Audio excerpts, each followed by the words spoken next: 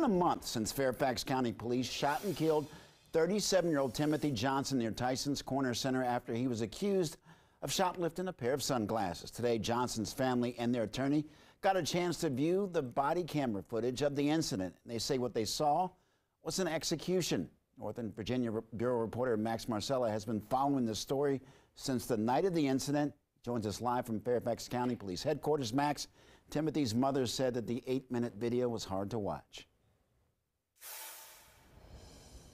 She says it was. It, what it showed, according to her, was the uh, police chasing uh, Timothy Johnson into the wooded area by the Tyson's Corner Center, where we knew knew that shooting occurred in February. Then we, uh, according to Johnson and the attorney, they heard officers yelling commands like "lay down" and "stop" before firing the shot. But today, they are saying they still don't know what prompted officers to fire that fatal shot. This was the execution by Fairfax County police officers. One month after Timothy Johnson was shot and killed by two veteran Fairfax County officers, Wesley Shifflett and James Sadler, and after viewing the body camera footage police provided Wednesday, Carl Cruz, the Johnson family attorney, shared a message for the county's prosecutor. Justice delayed is justice denied. This officer should not have his freedom at this point.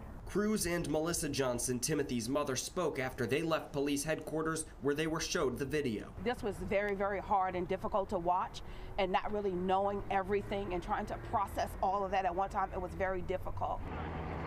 On February 22nd, the two officers chased Johnson to a small wooded area near Tyson's Corner Center. They say Johnson had stolen a pair of designer sunglasses. It was here that they fired their guns, and Johnson was hit once in the chest. I do not know if our suspect uh, is uh, was armed at this time. But police searched the area the following day and never found a weapon.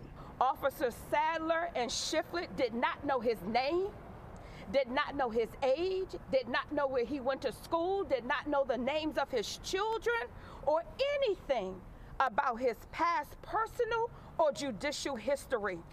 The only thing they knew was that he was black and male and had allegedly triggered an alarm from a store for some sunglasses. Fairfax County Police have said they'll release the same footage the family saw to the public on Thursday, but Johnson is still waiting. We're still waiting for answers to questions. It just does not make any sense at all.